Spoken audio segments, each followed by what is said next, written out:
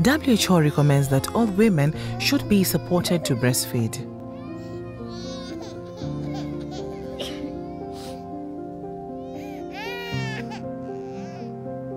If COVID 19 is suspected or confirmed, these hygiene measures can help protect the baby. Washing your hands before breastfeeding, coughing or sneezing into a tissue and disposing of it immediately.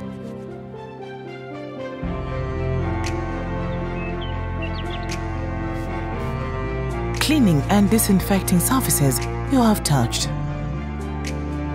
Wearing a mask where possible. If a mask is not available, WHO still recommends breastfeeding, as benefits outweigh the potential risk of transmitting the virus.